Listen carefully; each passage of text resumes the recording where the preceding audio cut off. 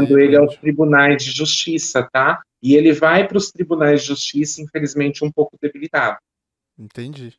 Entendi. Fica aí o alerta. Então, pediram para te perguntar também do cantor Gustavo Lima, se você fez já algum levantamento, alguma, alguma previsão para ele? Gustavo Lima, ele é rodeado de obsessores, ó. Ele tem muitos ah, é? obsessores. É por causa é, da bebida ou não?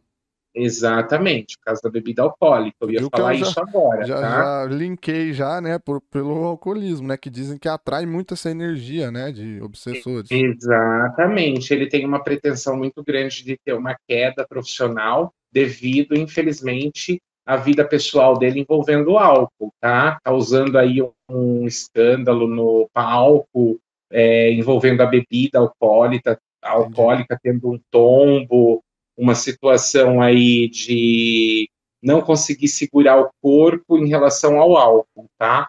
Vejo ele envolvido também em algum processo judicial que envolve aí funcionários, tá? Trazendo para ele uma fase de desgaste, de luta, sacrifício.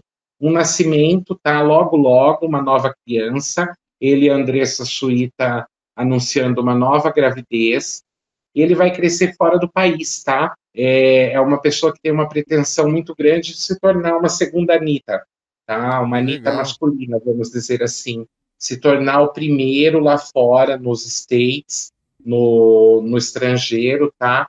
Fazendo com que o nome dele cresça e apareça assim estrondosamente. Não vejo tragédia, mas é alguém que tem que ter muita cautela com o vício, com o álcool porque isso pode levar ele para o fundo do poço e ter perdas e prejuízos assim que vão sanar a vida dele, infelizmente. E, e, como se não fosse bastante, agora ele está lançando uma marca de bebida alcoólica, né? Que vai atrair mais. Olha, meu Deus, ele que batiza essa marca de bebida alcoólica colocando um guardião para protegê-lo.